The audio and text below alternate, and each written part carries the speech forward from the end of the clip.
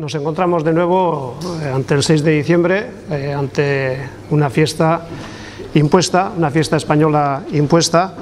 Nos, obligan a festejar una constitución, ajena eh, que además conculca el, el, derecho de Euskal Herria a la democracia, a la libre decisión y a la independencia.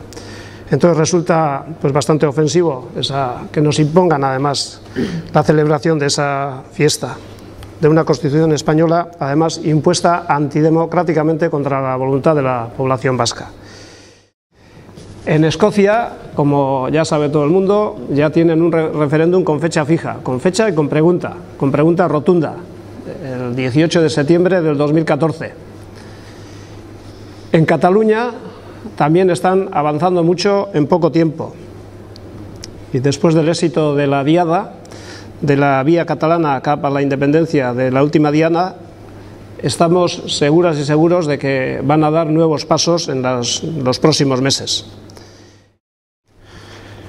En Euskal Herria pensamos que también ha llegado el momento de hacer esa reflexión. Desde independentista, una y otra vez hemos repetido que sin Estado vasco no hay futuro para Euskal Herria. Somos muchas y muchos los ciudadanos vascos que deseamos la independencia, que queremos la independencia.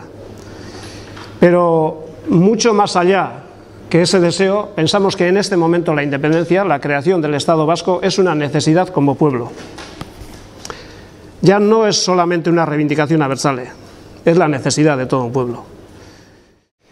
Pensamos que ha llegado el momento de poner en marcha nuestro propio viaje hacia la independencia y de marcar el camino y definir los pasos. Ya no se puede hablar en estrato, en abstrato. Ya ha llegado el momento de definir pasos. Desde la red independentista, para el día 6 de diciembre, hemos organizado en Durango, así como el año pasado, el Día Verde, un día independentista bajo el lema nahi dugulako, beharrezkoa dugulako, guk ere bai independentziari. Eh, la red independentista estará en la feria también con stand propio, así como el año pasado, y en ese stand, entre otros libros, este año presentaremos, como no, el último libro que acabamos de editar, eh, que el título es Escocia, viaje a la independencia en la Europa del siglo XXI